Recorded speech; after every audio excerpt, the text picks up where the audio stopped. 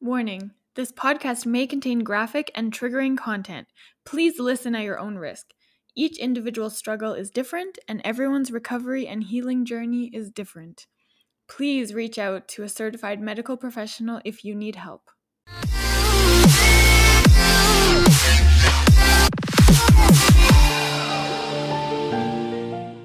Welcome to episode three of Stomp the Stigma, the podcast aimed to fight the stigma surrounding mental health through education, awareness, experiences, stories, resources, and the vulnerable truth. Today I'm going to share part two of my own journey, my own story. Uh, as I mentioned last week, on top of battling BPD and depression, I also struggle with eating disorders as well it's not your typical stereotypical anorexia or bulimia, but I struggled a lot with binge eating and minor orthorexia. So, fixating on eating healthy foods and things that I thought were really good for me. I grew up around role models and people who, to this day, uh, still complain about their bodies after every meal, I heard, oh my God, I ate so much, or oh my God, I'm such a pig, or ah, uh, I ate so much more than you. Uh, I never really saw an adult that looked at themselves and thought they were beautiful or loved their body or was okay with their body. Um, it was always a lot of negative self hate um, and talking bad about the way you looked or what you ate. And I don't remember ever being told as a kid that I was beautiful myself or that I was good enough just the way that I was. I was always, always a bigger kid. Um, everybody that I went to school with would be able to tell you that. I was bullied a lot and I was constantly reminded of it. And I clearly remember when I was younger my friend's mom was overweight and she wanted to lose a few pounds. And I remember her looking at me and she said, I don't need to be skinny. I just want to get to Elena's size. And that has stuck with me to this day. I know it wasn't like a direct um, insult, but to me, I was like, I didn't really look at myself as being that big or that heavy at that time. But hearing that from somebody who I looked up to somebody who was a friend to me, that really, really hit home for me. Then in junior high, our school was really close to a few places that we could get takeout for lunch. It was my first kind of opportunity to eat out whenever I felt like it. So, one of my best friends, she never brought lunch to school. And so she asked me all the time to go eat out with her, go pick up something for lunch.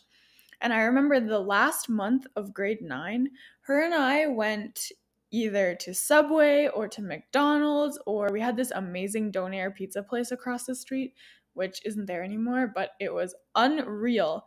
And we went out every single day for the last month of grade nine.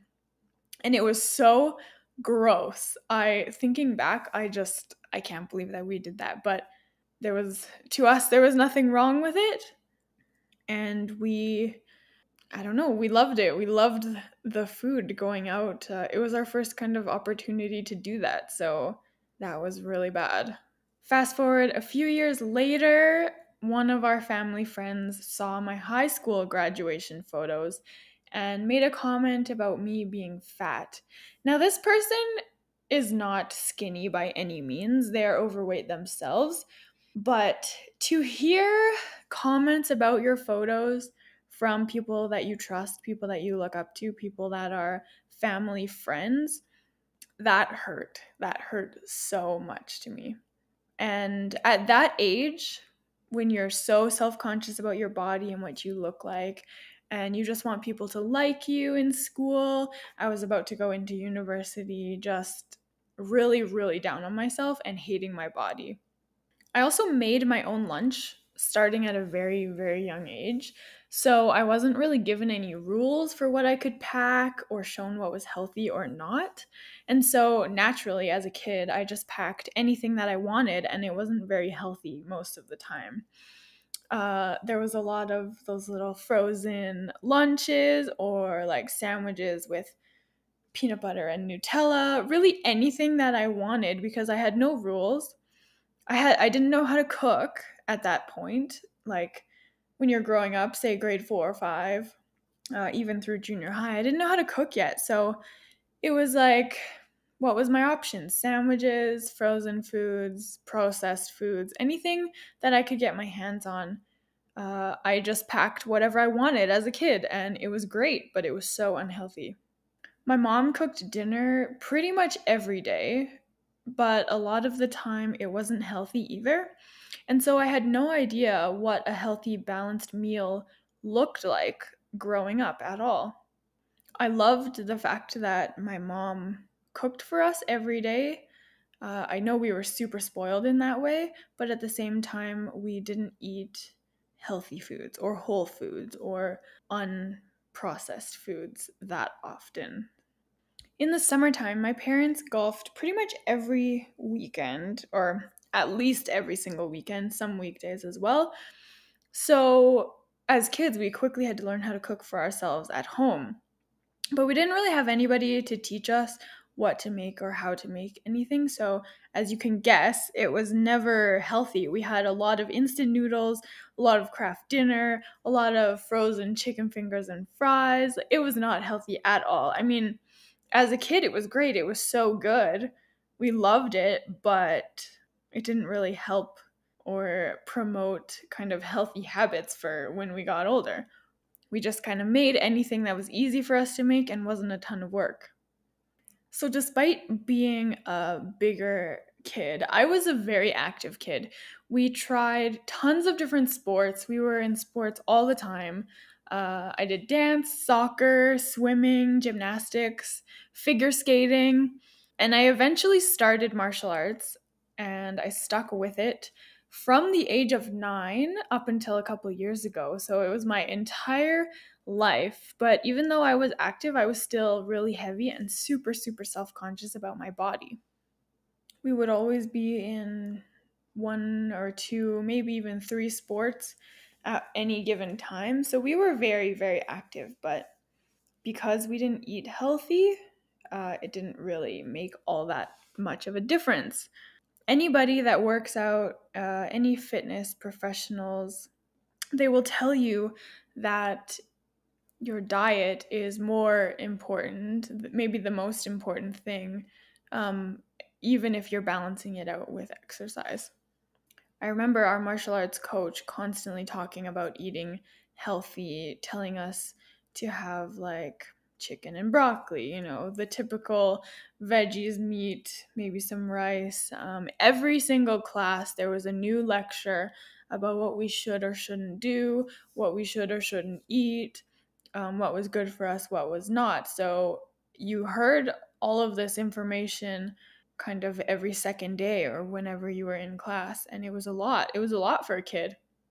I remember him going down the line in class and asking each person how much they weighed and then proceeded to tell them how much they should weigh. And it was so mortifying. I remember just lying about my weight, pretending that I didn't know how much I would weigh because I knew that I was way heavier than I should be, or way heavier than he thought I should be.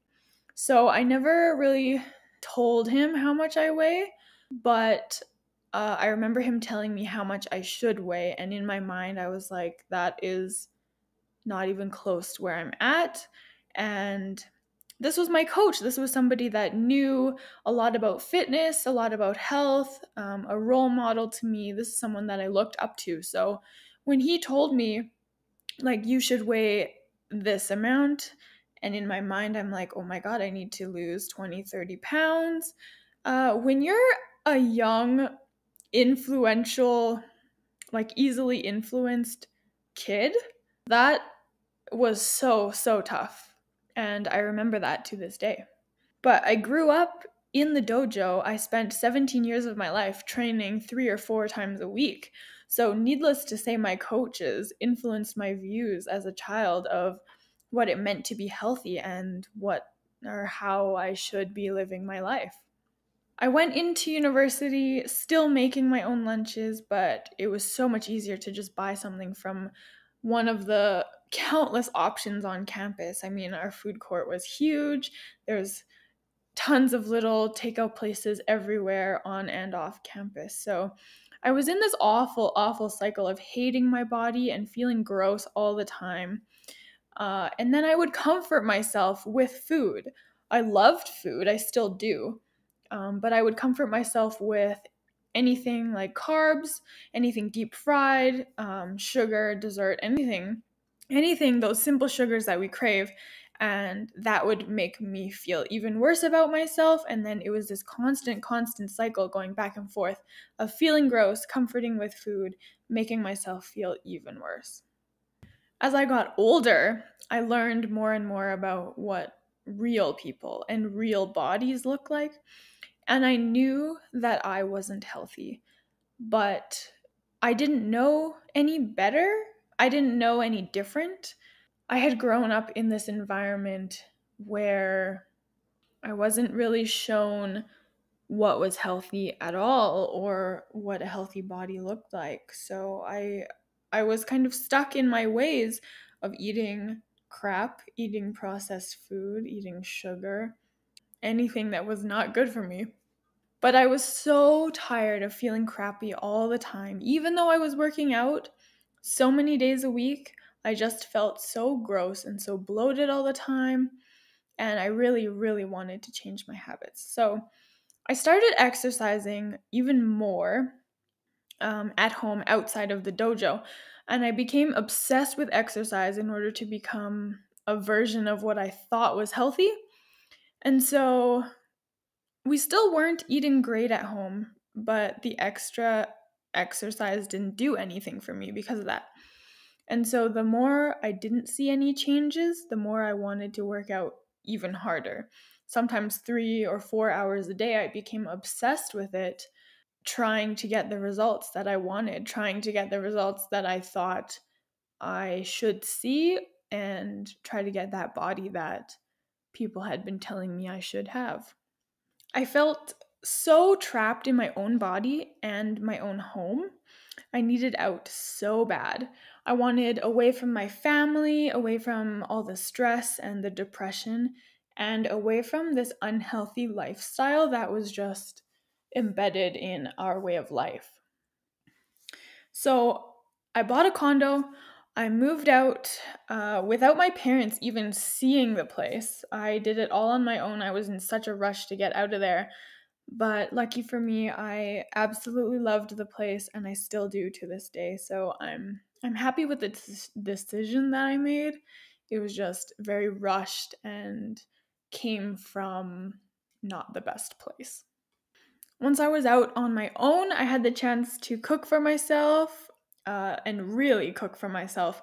I learned a lot about what it meant to eat healthy, balanced meals.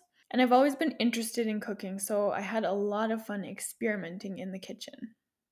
It took me a while to learn what was actually healthy versus what I was used to seeing and what I was used to cooking. So uh, I started an Instagram page to keep track of all my meals and hold myself accountable for it. And I became obsessed with eating healthy food so much. I put so much pressure on myself to eat what most people would consider an extremely restrictive diet in order to lose weight. I wanted to eat you know, the typical veggies, chicken and rice, maybe brown rice, you know, things that were just so bland and so awful tasting to me. But I was obsessed with the idea of becoming thin, and I wanted to prove all the haters wrong and get revenge on anyone and everyone that had treated me poorly in the past because of my body um, anyone that had bullied me or made fun of my weight or made comments about my weight. I just wanted to get back at everybody. But this restrictive diet was so unmanageable and not maintainable at all. So eventually I would crash and binge and eat anything and everything in sight, you know, carbs, cheese, anything deep fried, anything with sugar. Um, I craved it so bad because I had restricted myself to this extent where I couldn't I couldn't handle it anymore. And so I would binge and this vicious cycle would start all over again. I was so hard on myself. I was so negative. I hated my body. I would eat I would eat gross amounts of food and then I would feel so bad about it and I would hate myself even more after. Now, with this Instagram page and this online foodie community, I realized that what I was doing wouldn't work long term. So I decided that I needed to change my tactics and I needed to eat a more realistic diet. So, starting then, I stuck to as much unprocessed food as possible, but I ate real food. So, a lot of produce, lots of fruits and vegetables, fresh meat, um, eggs, anything around kind of the outside of the grocery store, anything unprocessed is what I stuck to, but I realized that I could eat way more than just broccoli and chicken. So from then on, I slowly started falling in love with the idea of eating real food and real meals that weren't just bland and boring. Now I know what it means to balance treats with nutrition, without restriction, and with moderation. So now, whatever I am craving, whatever I want to eat, I will eat, but I will make it in a way that is still healthy for me, involves whole foods, real foods, unprocessed foods. Um, and that's the part of experimenting with recipes that I love. So I can take something, I can have a recipe or a dish at a restaurant, fall in love with it, and then go home and make a healthier version of it so that I can try it again or have it again because it was so good. So that's a part of um, experimenting in the kitchen that I absolutely love. Don't get me wrong, I still I indulge when I need to, when I want to. Uh, I still have a huge sweet tooth and I love dessert, so I will indulge once in a while, but it's more controlled and less restrictive. So I continued on with that Instagram page. Um, it has expanded so much. It has grown into this food blog that now has tons of followers and an amazing, amazing community of people who have supported me and motivated me this entire time. They motivate me every day to continue creating, continue experimenting, and to keep eating healthy because they love to see it as well. So now cooking has become like a huge passion of mine, and it is really one of my happy places today. So that was kind of towards the end of my university um, degree. And then over the next few years, I really fell out of love with karate and the dojo and just that whole environment. And I no longer looked forward to going to class. It was so toxic and so negative and I just I reached the point where I realized how toxic that was and I wanted out. The problem was that my mom also trained with me and she was also teaching with me at the same time. So she didn't want me to leave and and leave her by herself. So I stuck with it a couple more years, but eventually I realized that I had to do it. I had to leave, I had to get out for myself, um, for my health, for my mental health, um, for me to be happy. I really, I really needed to escape this kind of toxic relationship, I guess you could call it. So in June of 2019, I finally hung up my uniform after 17 years.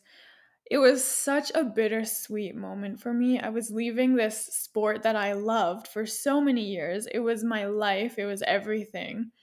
Um, but I, at the same time, I was really excited to move on and to move to a healthier place in my life.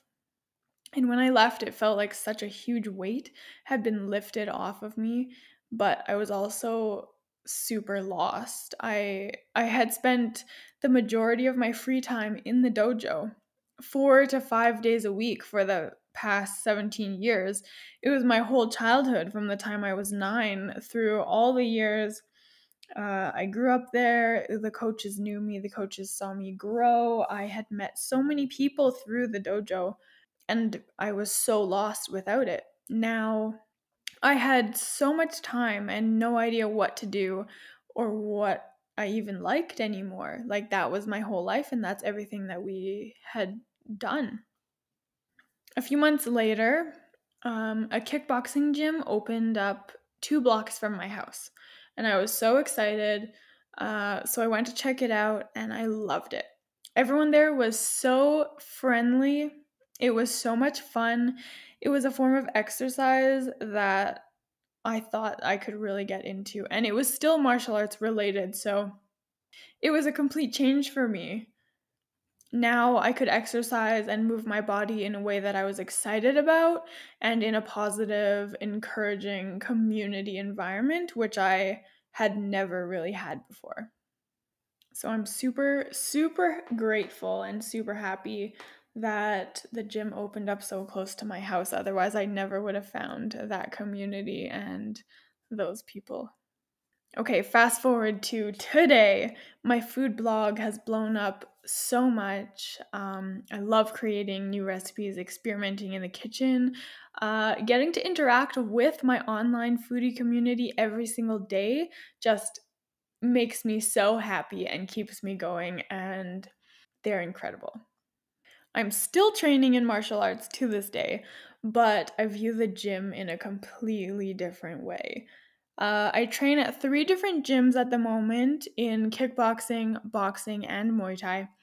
And I just, I get so excited to go to class, to hit the bag or hit the pads, and to see my incredible group of friends that I've met that have become family to me. I'm so, so lucky. I finally found a happy place uh, the supportive community that I've been looking for for so long and a love for life that I never ever had before. Now, I'm not recovered from my eating disorders completely, but I'm definitely doing better. I mean, I cook almost every single meal and I get excited to eat again. I get so excited to try what I'm making um, have this like delicious meal that is actually satisfying and healthy for me. I do have my bad days still, don't get me wrong. When it comes to events and holidays, uh, the excess carbs and fat and sugar makes me super, super anxious. Um, especially around, say, Christmas, when you have Christmas parties and holiday parties, family get togethers, all of those kinds of things it's a lot of unhealthy food all in a close period of time. So that really, really gets to me, and that's really hard for me to do. Because oftentimes I feel so much pressure to eat everything that I'm given or everything that is on my plate, and that doesn't always end well for me. After a big meal, I feel really bad for eating so much or eating so much junk food that I just I want to throw up even or just punish myself or restrict my diet the next day. But I I mean, I know better than that. I know that in the past that hasn't been something that works for me or really anyone and it's not healthy. But eating so poorly just gets to me and I can't help it. A lot of the time before I order takeout or buy that dessert, I I have to ask myself, will I regret eating this or will the sugar be worth it or will the calories be worth it? So, I do struggle a lot still, but I've learned that life is all about balance. So, if I can cook all my meals for the week and treat myself to one takeout or restaurant meal, then I'm happy. I still allow myself to eat out. I love food um, and I love sharing it with other people. So I wouldn't be able to not go out at all. That would also be miserable to me, but that would also be restrictive. So I've learned balance and I've learned how to control um, kind of balancing the healthy food with the unhealthy food. But I do have my bad days and it does get to me sometimes. So I like I do cook pretty much every single meal. Um, and I think part of the reason why I love cooking so much is because it gives me the control back. I can control what goes into my body, what I'm eating, um, instead of somebody else controlling that for me. And that helps me a lot. Knowing that I have like something home cooked with, say, lower sodium or just unprocessed foods. I know that I'm controlling what's going into my body, and that makes me feel a lot better about it. All right, changing pace a little bit here. If you've made it to this point, thank you so much for listening. Uh, I'm going to outline some of the ways that I handle my depression and my emotions, as well as the eating disorders. So, um, this will be different for everyone. Everybody's coping mechanisms will be different. Um, so, you just need to find what works for you, and sometimes that involves um, therapy, sometimes that involves medication. Um, just finding little things that make you happy, and it doesn't have to be anything big. But for me, just taking one day at a time is huge. Um, I'm a pretty chill person, so not stressing about what you can't control and not dwelling on the things that you can't change or have already happened. If something happened yesterday or last week and it's already done, there's nothing you can do about it, then there's no point in stressing over it any further. So if I had a bad day, say yesterday, uh, food wise, if I had a big binge day or cheat day or whatever you want to call it, um, I know that after that, I will feel really bad. If I have a big binge day today, I, in my mind, I will be so mad at myself. I will want to restrict myself and kind of punish myself for doing that. But at the end of the day, if I keep doing that, that will make it even worse. So, putting that in the past, um, realizing that what happened has happened, it's over, it's done and you just have to move on from there. Don't make it any worse than it already is, and you can't control what has already happened. For me, one of the things that is huge is getting a good night's sleep. I know a lot of people can function off of six, seven hours of sleep. For me, I need more than that. So I do go to bed really early, and a lot of people kind of question that for me, and they're like, they don't understand how I can do it. And I don't. I don't always get enough sleep, but I know that if I don't get enough sleep or enough good sleep, that I can't really function as well. And I can definitely feel it. I also find that one of my triggers for my uh, BPD acting up or like having a bad day is a lack of sleep. So if I'm exhausted, those feelings of depression and all the self hate and all of that stuff comes back a lot more easily. When my body is well nourished, I feel so much better. Uh, it definitely helps with my emotions as well. So, eating a well balanced, um, full of unprocessed foods diet that's what makes me feel better. But I eat everything in moderation. Yes, I still eat carbs, I still eat bread, I still eat pasta, just um, more balanced meals and uh, in a healthier way. For me, exercise is a huge part of my mental health. Uh, I need to move my body in some way almost every day, if not every other day.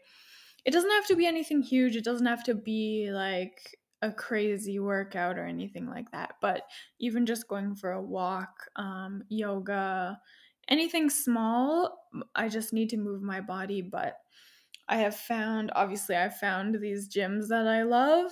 And so going there, getting a workout in, seeing the people that I love, socializing with them, um, getting to hug them, but also getting a workout in and getting those endorphins out, that makes me feel a hundred times better, and that makes any day so, so much better.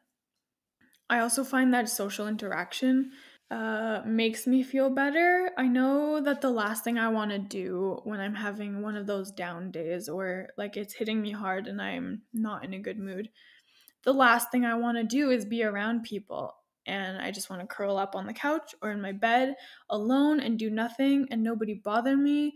But what I really want is for somebody to bother me. Somebody blow up my phone. Just, I want somebody to reach out and just know that something is wrong, but without me saying anything. And I know that's super unrealistic. And if I don't tell anybody that I'm down or having a bad day, that I can't expect anybody to just pick up the phone and make me feel better. But I know for a lot of us in this situation, you just want somebody to reach out to you. So when I'm having a bad day, I know a lot of the time I will stay home by myself. I know I'm really bad for canceling plans or bailing on people when I'm just not in that kind of right state of mind. And some of my friends are super, super good at convincing me to go out and convincing me that I need to leave my house or that I need to be around people. And um, being around people makes everything better. The social interaction, feeling like you're you're wanted and people want you there. I know that attention makes me feel a lot better because of the lack of attention and the emotional neglect that I had um, growing up. So I do seek attention sometimes, but I've learned not to do that in a super unhealthy way. So just being able to hang out with friends and socialize and just have people around makes the world of a difference. You also need to find hobbies that you love and you look forward to. And I have totally found those very, very recently, actually, in the last year or two. I would say two years, maybe. Um, obviously, my hobbies are like experimenting with food, recipe creations, uh, building my blog and my brand has been so much fun. Um, obviously, I love going to the gym and seeing my community and my friends. I know that when I have too much time with my mind, uh, then it can turn bad. So if I'm stuck in my head, if I'm stuck in my own thoughts, it can it's it can go very very wrong. So I do keep busy as much as I can without burning myself out, and I know sometimes that it's more of a distraction than fixing anything if something is really wrong. So you just need to be very cognizant of that if that is one of your methods of coping. If something is really wrong, just covering it up and putting it aside is not going to make anything better. And like I said, I've only recently found what I truly, truly love. It took me years to do, and I didn't really have the time or the opportunity to do that before. So now that I'm kind of on my own, I've had the time to experiment, I've had the time to try different things. Um, I, I really encourage everybody to do that as well. Go out there, try new hobbies, try new sports, um, anything. You might be surprised what you actually like. In terms of my food, like I said, I cook a lot of um, unprocessed foods as much as possible. And one of my rules, kind of, is to try and get veggies in every single meal, including breakfast. So I oftentimes I'll have spinach or zucchini or kale or anything like that for breakfast or with my breakfast. So I love making eggs with veggies in it um, just sauteed veggies on the side. I make baked oatmeal cups on my work days and I throw in um, grated zucchini in there or carrots, um, but I also have a lot of fruit for breakfast as well.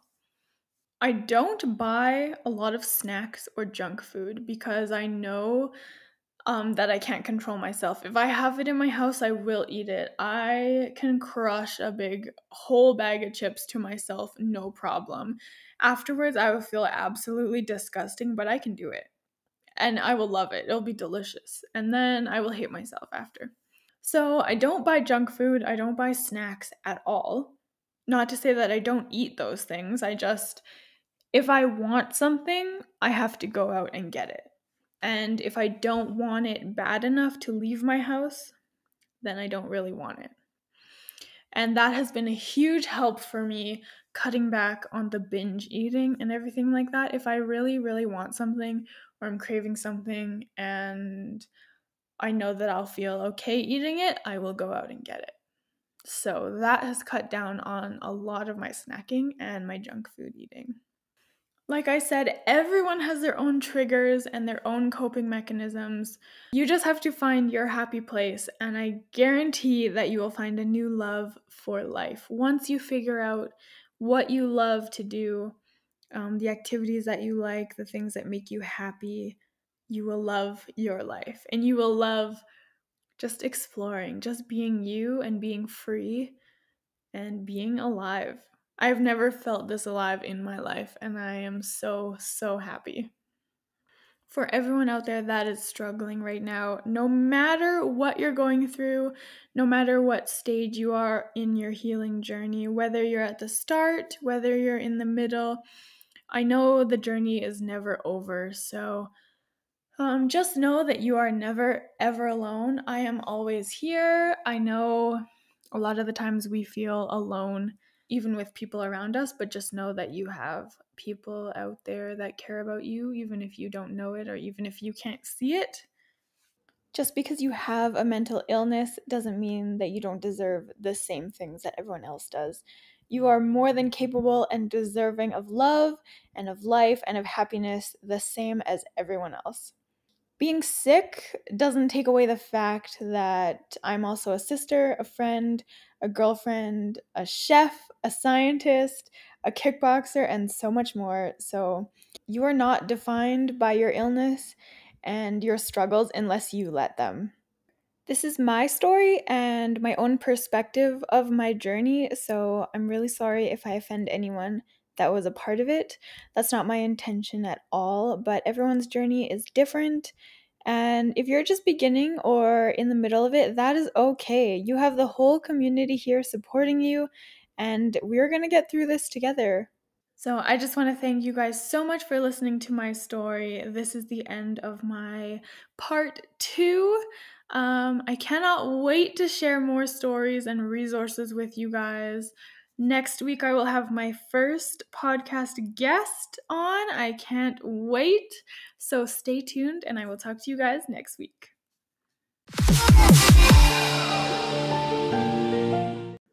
Thank you so much for tuning in today. Feel free to reach out at any time. Share your story, speak your truth, and together we can stomp the stigma.